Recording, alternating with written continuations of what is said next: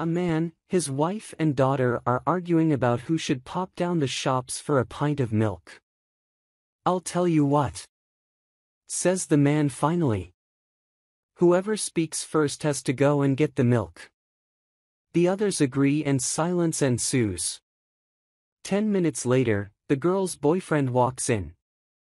Hello everyone, he says, but there is no response. How about a cup of tea? Still no one speaks, so he goes over to his girlfriend, gives her a lip-smacking kiss and leads her out of the door and up the stairs. Half an hour later he returns looking a little flushed but still no one speaks. He decides to have a bit of fun so he goes up to the wife and gives her a kiss. He can't believe she doesn't say anything, so he takes this as a yes, and takes her upstairs as well. Twenty minutes later he returns feeling quite knackered.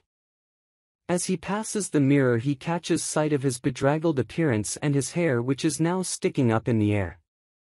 Needing to tidy up, he asks, anyone got any Vaseline?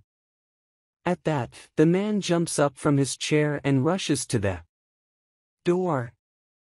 You're right, he says, a cup of tea would be nice, I'll just pop out for the milk. Please like and subscribe to my channel and press the bell icon to get new video updates.